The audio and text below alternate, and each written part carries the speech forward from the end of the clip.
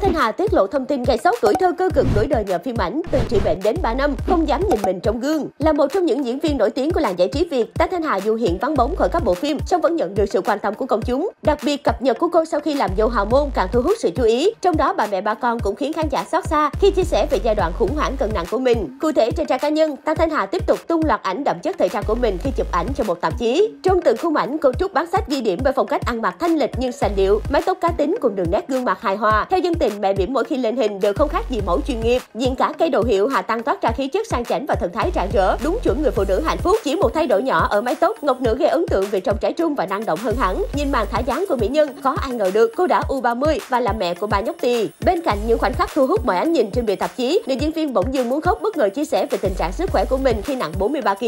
Mỹ nhân sinh năm 1986 đã có giai đoạn điều trị bệnh dạ dày 3 năm. Một đoạn trong bài đăng của Hà Tăng, tôi đã trải qua một cuộc hành trình điều trị bệnh dạ dày khá gian nan. Tôi bị trào ngược dạ dày thực quản. Căn bệnh này đã khiến tôi xuống cân một cách trầm trọng. Giai đoạn đó tôi nhận được rất nhiều sự quan tâm về cân nặng của tôi. Ai cũng nói tôi ốm quá, xuống sắc và già nua. Bản thân tôi nhiều lúc không dám nhìn mình trong gương. Dù không chia sẻ cụ thể về thời điểm, song dân tình phỏng đoán đã rơi vào giai đoạn sau hai lần sinh nở của người đẹp. Đặc biệt sau lần chào đón nhóc tỳ thứ hai, ngọc nữ màn ảnh Việt liên tục xuất hiện trong dáng vẻ gầy guộc, xương quai xanh hiện rõ. Thanh Thanh Hà vẫn giữ dáng mảnh mai, song được nhận xét là có da có thịt và nhiều năng lượng tích cực hơn trước. Dù làm dâu hào môn, cô vẫn trung thành với phong cách ăn mặc giản dị, kín đáo, song vẫn ghi điểm nhờ độ trẻ trung, trang trở ở tuổi U30. tăng Thanh Hà từng có tuổi thơ khá cờ cực khi xuất thân trong gia đình nghèo. Vì đam mê diễn xuất nên người đẹp chăm chỉ học kịch tại sân khấu kịch Edicap. Nhờ vào nhan sắc xinh đẹp và tài năng vốn có, cô may mắn lọt vào mắt xanh của một số đạo diễn. Nữ diễn viên bắt đầu nổi tiếng khi đảm nhận vai út nhỏ trong Hương Phù Sa. Sau đó cô từng tạm dừng việc đóng phim để sang Singapore du học. Khi trở về Việt Nam, sự nghiệp của Hà Tăng mới thực sự chạm đến đỉnh cao khi cô thể hiện thành công nhân vật trúc bán sách trong bỗng dưng muốn khóc. Tuy nhiên, sau khi kết hôn, Tăng Thanh Hà không còn mặn mà với ánh đèn sân khấu hào nhoáng. Cô tập trung cho cuộc sống hôn nhân cùng ông xã là thiếu gia Louis Nguyễn, vun vén tổ ấm cùng ba người con kháu khỉnh.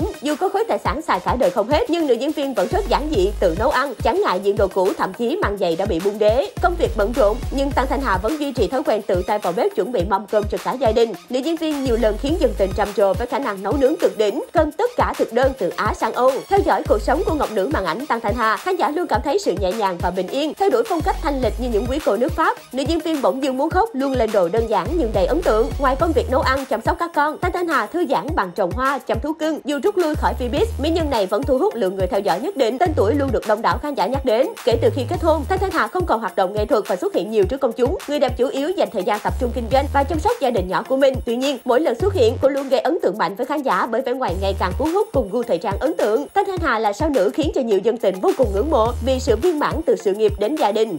Mặc dù bận rộn với những dự án kinh doanh riêng, nhưng cô cũng làm rất tốt vai trò người mẹ đảm đang. Khán giả có thể thấy rằng để có được sự thành công hạnh phúc, mỹ nhân sinh năm 1986 đã phải trải qua nhiều khó khăn và thử thách. Nếu các bạn là người đang rất đam mê phim ảnh và cần một nơi để cập nhật tin tức mỗi ngày thì điện ảnh.net là nơi dành cho bạn.